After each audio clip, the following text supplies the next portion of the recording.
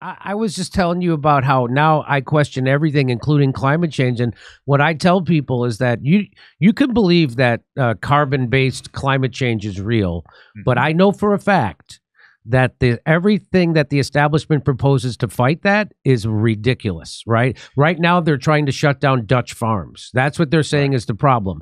That's, the That's right. problem. You know the biggest emitter of carbon in the even if you believe that the biggest emitter of carbon in the world is the US military. The next time Greta Thunberg pro- protests outside a new military base is the next time I'll believe anything she has to say. Greta Thunberg is a psyop invented by a PR firm. You can keep Dr. Drew over my shoulder. That, that that's what she is. She'll never go. She what? She's pro Ukraine war. The biggest emis- emission of methane gas in the history of the world was the Nord Stream pipe- pipeline that was blown up. Right? And who blew Yeah. that up? The United States, the CIA, and NATO blew that up. Yep, and so that's she's right. not protesting that. She's not protesting war. She's invited to come to the WEF and speak at Davos. There's no way if she was actually opposing them that they would be inviting her. So this idea that the problem is, oh, by the way, in California, Doctor, you can't have a gas powered lawnmower or a gas powered leaf blower. You know what they didn't outlaw? Private jet travel. One private jet travel emits as much carbon as my car does in my lifetime. They'll never. Ba- so once they once they ban private jet travel and they cut they close down eight or John Kerry or Barack Obama or Joe Biden say we have to shut down 800 military bases around the world. That's when I'll start believing what they say about climate change, and not until then. Do you I, think? I I agree. I have a slightly different measure, though. My, my sort of what I'm looking for is in California. It was something like ten years of gas powered vehicles are is completely un uh, eliminating ten years of gas powered vehicles is completely undone by one of our forest fires. So if you were actually serious about carbon emission in California, you would be doing forestry management. That would be your numero uno job. And all these fires we have, they are not because of they, they're started because of electric companies, but the reason there's such a problem is that we stopped doing forestry management in this state. I grew up in Southern California, and when you looked at the San Gabriel Mountains behind us here, they used to be crisscrossed by these fire breaks. They were all over the place. They eliminated eh, eliminated even fire breaks because it was interfering with the migration of a mouse.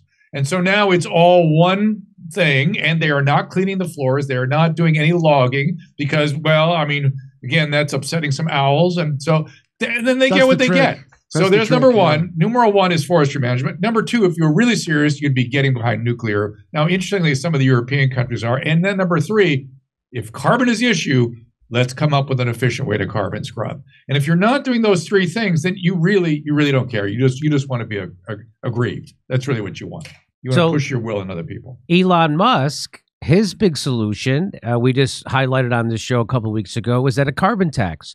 Isn't it interesting that a guy who wants to sell electric vehicles wants to Yeah. put a tax on carbon? So people driving gas powered cars who are have to pay for everything, but apparently he doesn't have. By the way, did you know that people? Do you ever think about it this way that that people who drive electric cars don't contribute to the road con- uh, upkeep or construction because the gas tax is what funds that. So, So, if you're no dri- one Well, does. so if you're if you're Well, no, driving, hold on. A dollar of it is for homelessness too. We, Yeah. So he's also not interested in that, at least in this state. So if you're driving an electric car, you're not contributing to the upkeep of the roads. And uh, again, this is all again follow the money, the scam. Of course, he said uh, put a carbon tax on. Don't put a tax on the batteries that he has to use slave labor to get. wait, what Dr. Drew just said in the beginning, which is very interesting, I'd never heard before, is the advertising drugs on TV is just so that they They control, can control. the media. That's right. Which has been blamed on other people for a long time, by the way.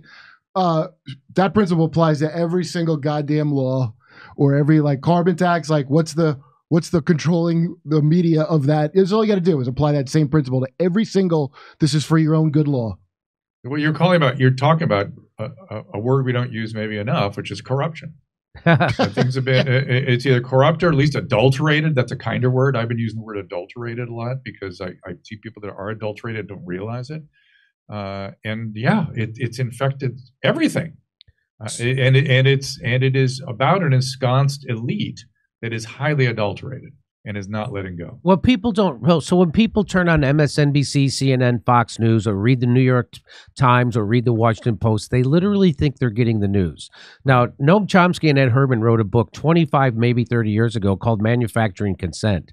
Mhm. And there he proved that the media is not there to inform you, to give you the news. It's there to manufacture the consent of what the establishment billionaire class that owns them wants to happen in legislation. We also don't live in a democracy. The idea that January 6th overthrew our democracy or tried to, your democracy was stolen from you by corporations decades and decades ago. And it was proven Yeah. by a Princeton study. We don't live in a democracy. We live in an oligarchy because the bottom 80% of wage earners, what they want reflected in legislation never gets reflected in legislation. And only the upper 10%. If 50% of the upper 10% want something, 50% of the time it gets made into legislation. So when you see a, a session of Congress, do you think they're doing the bidding of workers and students and the elderly and the sick and in front? They're doing the bidding of the billionaire class that they serve. That's exactly what's ha- that's what a session of Congress is, which is why we can send hundred billion dollars to the most corrupt country in Europe at the blink of an eye, and we still won't take care of the homeless people in our own country.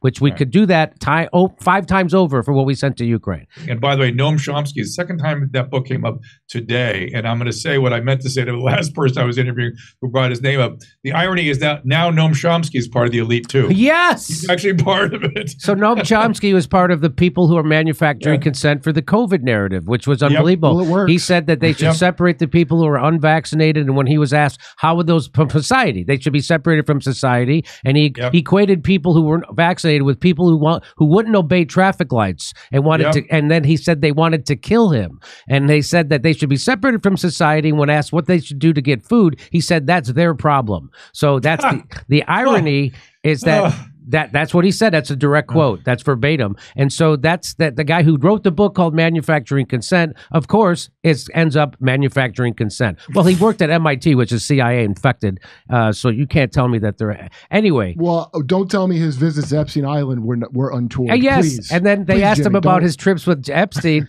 and he said that's none of your business. I think Fair it is enough. my business.